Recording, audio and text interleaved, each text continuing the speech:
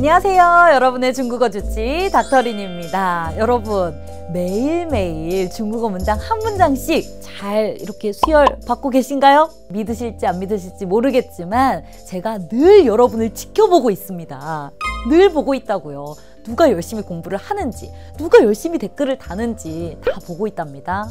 아시겠죠, 여러분? 사실 우리 채널이 만들어진 이유 중에 하나도 이렇게 학습자분들하고 중국어 문장으로 소통을 하면서 어떤 부분을 가장 어려워하시는지 어떤 부분에서 힘듦을 느끼시는지 알기 위한 게 정말 컸거든요. 많은 분들이 중국어 문장을 만드는 데 있어서 이 동사의 활용에 어려움을 많이 느끼시는 것 같더라고요. 예를 들어서 저 시험 봅니다 라고 이야기할 때 어, 시험을 보는 거니까 칸이지 하면서 칸考试 이라고 이야기를 하신다든지 아니면은 뭔가 이제 지갑 등등 잃어버렸다가 찾았습니다 라고 얘기할 때 찾은 거고 완료니까 러를 빼먹을 순 없지 하고서 我找了 라고만 이야기를 하신다든지 이런 경우가 굉장히 많아요. 이런 종류의 소소한 오류들 설마 여러분 이 문장에서 어딘가 어색한 부분을 못 찾으신 거는 아니겠죠 여러분? 못 찾으셨어요? 괜찮아요, 여러분. 이렇게 동사가 워낙 그 의미와 활용법이 다양하다 보니까 기초 단계 때 배웠던 그 뜻 하나만으로는 활용하기가 쉽지가 않아요.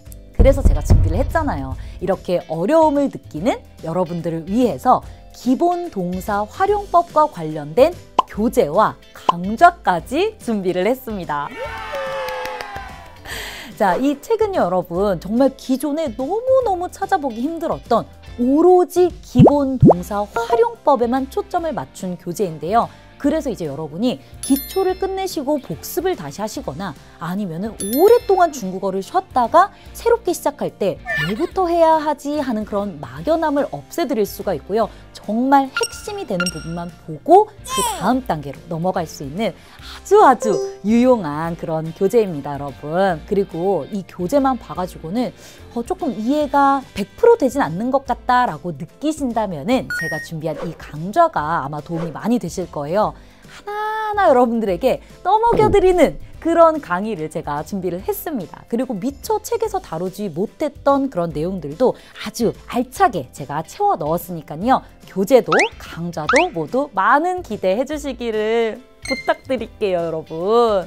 네, 119도 많은 구독과 좋아요와 댓글 많이 해주시고요. 앞으로 나올 기본동사 응급처치 책과 강좌도 많은 기대 부탁드리도록 하겠습니다. 곧 서점과 다락원 홈페이지에서 만나보도록 해요. 안녕!